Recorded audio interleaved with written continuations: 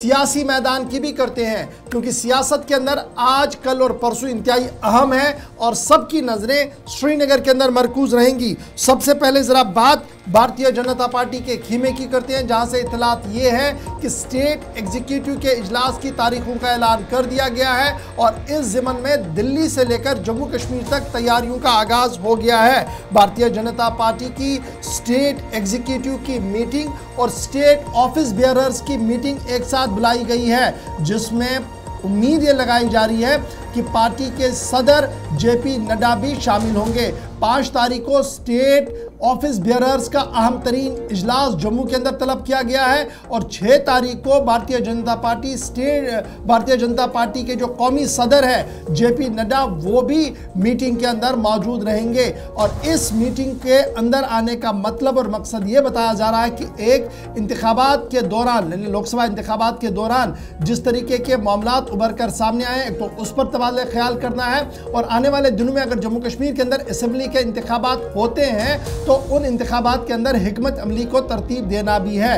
याद रखिएगा, मरकजी वज़ीर बरए सेहत, केमिकल और फर्टिलाइज़र और कौमी भारतीय जनता पार्टी के कौमी सदर जगत प्रकाश नड्डा जो है वो जम्मू आएँगे छः तारीख को, जहाँ पर वो बीजेपी की तरफ़ से एग्जीक्यूटिव मीटिंग जो बीजेपी की है, उसमें शिरकत करेंगे। और इस दौरान इतलात और ख़बरें ये हैं कि एक राह हमवार होगी कि आने वाले दिनों में इंतबी दंगल के अंदर किस तरीके से आगे बढ़ना है और क्या कुछ आगे करना होगा बीजेपी के हवाले से, ये एक तरफ़ से बताया जा रहा है। दूसरी तरफ़ से श्यामा प्रसाद मुखर्जी के जन्मदिन की तकरीबात का सिलसिला भी लगातार जारी है और इस ज़मन में भी एक और फ़ंक्शन होगी, जहाँ पर जेपी नड्डा बहत मेहमान खसूसी मौजूद रहेंगे। तो पाँच और छः तारीख भारतीय जनता पार्टी के नाम, जम्मू के अंदर अहम तरीन इजलास और दिल्ली से न सिर्फ़ जेपी नड्डा, बल्कि दीगर लीडरान की भी आमद है। इस हवाले से बीजेपी स्टेट एग्जीक्यूटिव का इजलास और ऑफ़िस बेयरर्स का भी जो है वो अहम तरीन इजलास। शिल्पा शर्मा हमारे साथ ज्वाइन कर चुके हैं। शिल्पा, ज़रा अपडेट करें, ये जो पाँच और छः तारीख की मीटिंग है,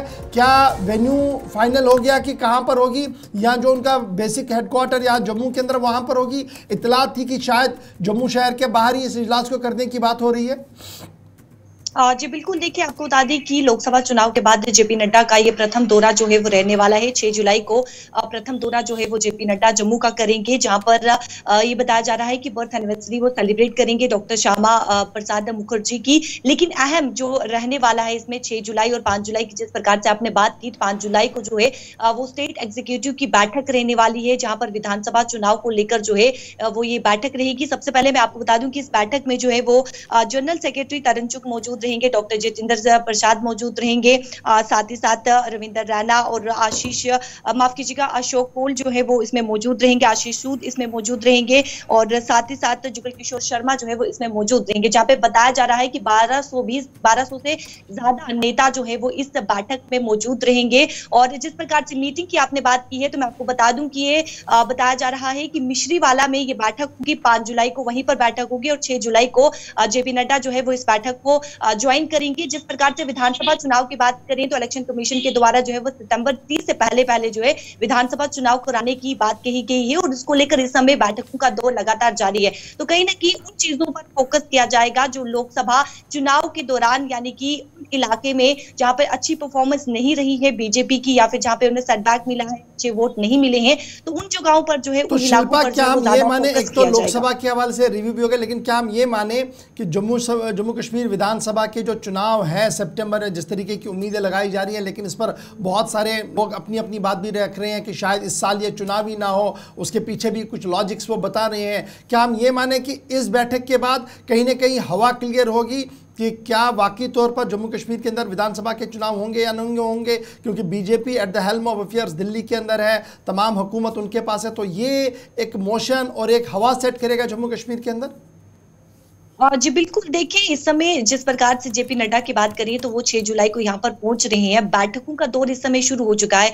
चाहे फिर हम वो भाजपा की बात करें या फिर पीडीपी की बात करें या फिर नेशनल कॉन्फ्रेंस की बात करें तो लगातार बैठकों का दौर जो है वो देखने को मिल रहा है और जिस पर से नेशनल कॉन्फ्रेंस की बात करें तो उनकी भी बैठक जो है वो असेंबली इलेक्शन को लेकर होने वाली है। तो कहीं ना कहीं ये देखने को मिल सकता है कि जल्द ही असेंबली इलेक्शन विधानसभा चुनाव जो है वो जम्मू कश्मीर में होंगे, क्योंकि इलेक्शन कमीशन के द्वारा डेट जो है वो साफ़ तौर पर ज़ाहिर कर दी गई है। तो जिस प्रकार से बैठक की जा रही है रणनीति तैयार की जा रही है कि पार्टी को किस प्रकार से स्ट्रेंथन करना है पार्टी को किस प्रकार से मज़बूत करना है उन इलाकों पे जहाँ पर लोकसभा चुनाव के दौरान जो है उन्हें वोट नहीं मिला अच्छे प्रदर्शन नहीं रहा। बहुत शुक्रिया शिल्पा मरजा ज्वाइन करने के लिए। पाँच और छह तारीख भारतीय जनता पार्टी का इजलास जम्मू के अंदर होगा। कौमी सदर जेपी नड्डा यहाँ पर मौजूद रहेंगे न सिर्फ़ जेपी नड्डा मौजूद रहेंगे। बल्कि इतलात ये है कि जम्मू कश्मीर लोकसभा असेंबली के लिए जिन्हें नामजद किया गया है जी के रेड्डी साहब वो भी यहाँ पर मौजूद रहेंगे। और दीगर लीडर्स की भी आमद मुतव है। बीजेपी की तरफ़ से तैयारियों को हतमी शक्ल पहली दे दी गई है। अब